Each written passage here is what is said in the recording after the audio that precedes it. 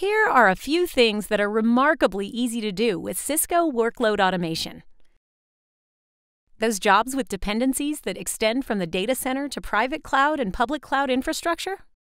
The tight integration you get with Cisco Workload Automation lets you schedule, monitor, and interact with them through a single pane of glass, even smartphone glass. Cisco Workload Automation can automate workflows in your local data center and in the public cloud. You can spin up additional virtual machines on the fly and allocate workloads to them. You can manage snapshots, adjust resources, and run VMware vMotion migrations. The same goes for Cisco UCS servers and Amazon Web Services instances and storage buckets, and the data moving in and out of these cloud resources.